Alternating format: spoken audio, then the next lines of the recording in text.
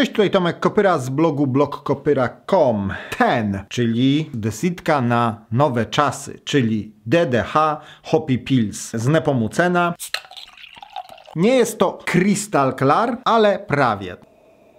Soczyście, cytrusowo, bardzo przyjemny. Spróbujmy.